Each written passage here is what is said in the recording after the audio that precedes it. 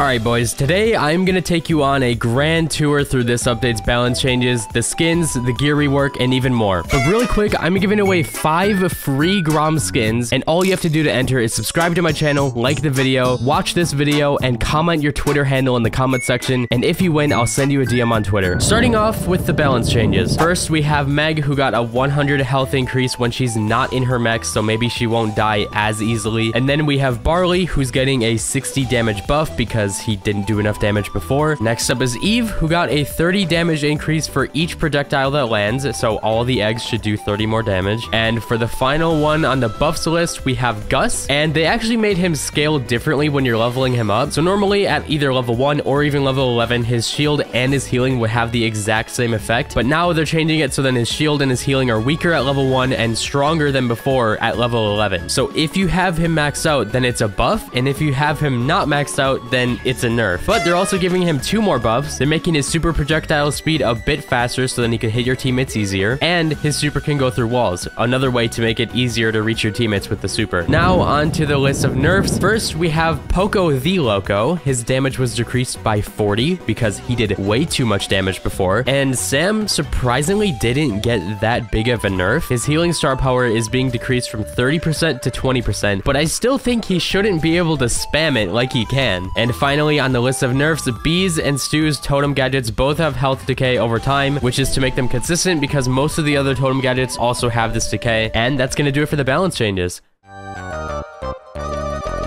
Penny's new skin is Trash Panda Penny, which is a tier 1 skin for the Brawl Pass, and in-game, it looks like she shoots the hand that she's holding in her normal animation, and for her super, instead of seeing the raccoon, you actually see 90% of a trash can and 10% of a raccoon. Next, we have Inspector Colette, and this is the Power League skin, meaning you can get it for free, and this skin looks awesome. I can't really tell what she's shooting, but visually, I think this might be one of her best skins, and in my opinion, this is the Halloween skin of the update, and the fact that you can get it for free is kinda insane. Pizza Oven Ash is another skin that you can also get for free by playing Club League, and obviously purchasing it with club coins. This one looks really weird, but also really cool at the same time. With his attacks, it looks like he splatters grease all over the ground, and his super is a bunch of little sentient pizza slices that are out for your blood. Pretty good skin. Zombrock is a skin which you can either win from a challenge or you can get it for only 29 gems, so another potentially free skin. I'm assuming the price is so low because he doesn't actually have any special visuals or animations in-game. Still though, 29 gems or free is really good for a skin like this. Now we have Frankengrom, which I am giving 5 away for free to people who subscribe to the channel, like the video, and comment their Twitter handle. Otherwise, it's only 149 gems. His main attacks look like he's throwing monstrous cans, but for his super, he throws his backpack and it explodes into this giant squid monster, which in my opinion looks really cool. I think that alone makes the skin completely worth it. GeForce Janet is a new skin that costs 29 gems, but again, I think this one is super worth it for only being 29 gems. That being said though, much like any other low-cost skin, the animations in this one haven't been changed at all from my knowledge. Despite that, I actually prefer this one over all of her other skins because I personally like the color scheme of it. First Blob Squeak is going to cost 79 gems, and this one turns him into a green battle goo thing. In-game, he looks completely different than his base model, maybe because he actually has hair now. It might be hard to tell, but his main attacks throw grenades, and his super throws a bunch of thinner, sticky bombs, both of which I think look really awesome, and for 79 gems, again, this skin, in my opinion, is really worth it. Rage Quit Tara is another skin that you can potentially get for free from the Brawl Stars World Finals, or you can get it next year for 149 gems. But again, potentially essentially for free. Her attacks look like she's throwing out a bunch of phones, and uh, I hope they have screen protectors because, geez, woman,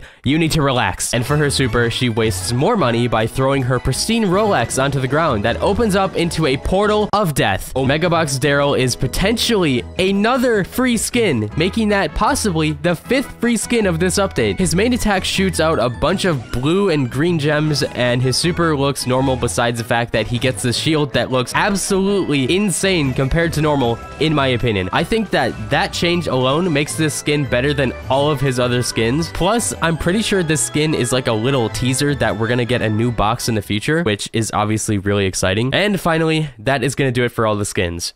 Now let's talk about everything regarding the gear rework. Everyone will get 2.25 coins for every one scrap that they had on their account, and every gear token you have ever had will be converted to 217.5 coins. For people with maxed out accounts, you're gonna be rich. Gears can be purchased for coins as long as your brawler is level 10 or 11. Super rare gears cost 1,000. These gears are available to every brawler in the game. Epic gears cost 1,500 coins. These gears are available to specific amounts of brawlers. Usually about 10 brawlers have an epic gear. And mythic gears cost 2,000 coins, which are only available to one brawler each, at least for now. First of all the new gears, we have the reload speed gear, which gives a 20% reload speed increase. I thought this was going to be 5%, but no, it's 20. This will be available on Belle, Eve, Lola, Bo, Brock, Colt, 8-Bit, Amber, Rico, and Griff. In other words, a bunch of brawlers that could really benefit from this. The supercharge gear is another epic gear which increases a brawler's supercharge rate by 10%, and this one will be available on Ash, Lou, Otis, Bull, Nani, Bonnie, Edgar, Sprout, El Primo, and Jackie. Again, a lot of brawlers that could really benefit from this, and I just wish that Crow was on that list. Next, we have Talk to the Hand, which is a mythic gear that is specifically for Gene, which increases his super range by one tile. And finally, we have, uh, Thick Head. This is a mythic gear on Tick, which increases his super's health by 1000. That is a thick head. Now checking out the reload gear for comparison, here is Colt reloading all of his ammo before equipping the gear, and here is Colt reloading all of his ammo after equipping it. 20% faster. Moving on to the supercharge rate, here is Edgar charging his super before equipping the gear, and here is Edgar charging his super after equipping it. 10% faster.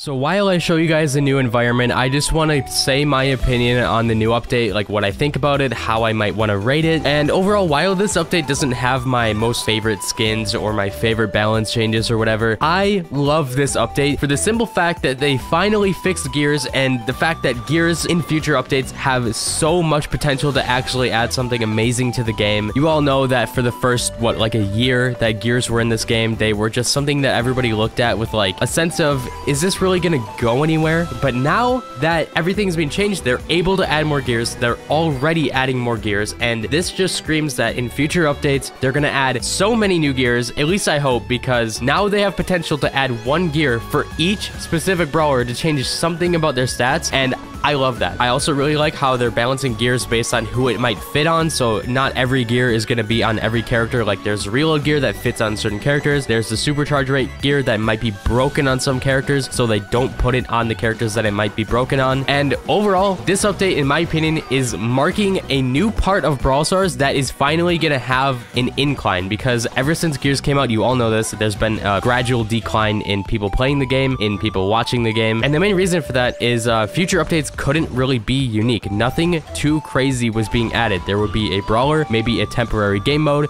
maybe a permanent game mode, but besides that, it's stuff that we've seen in basically every single update. So it's it's nothing groundbreaking, you know, it's nothing crazy that's going to keep you invested for a really long time. And the reason for that is because uh, and the reason for that is because gears were added, but it's not like they would want to go and add another entire ability, so they were kind of relying on gears to be that thing that carried over new interest for a long time, but gears literally literally could not do that, but now they can. So now that gears are how they should have been at the beginning, I think it's going to be great. So if I were to rate this update from 0 to 10, I would personally rate it 9 out of 10 or 10 out of 10 just for the fact that it is finally marking a point in Brawl Stars where we can have new content consistently, like actual brand new ability type content to the game that we haven't seen in a really long time. And I'm excited. So if you want to, then feel free to let me know what you think about the update, how you might rate it. And with that being said, I'll see you later and have a good night, guys.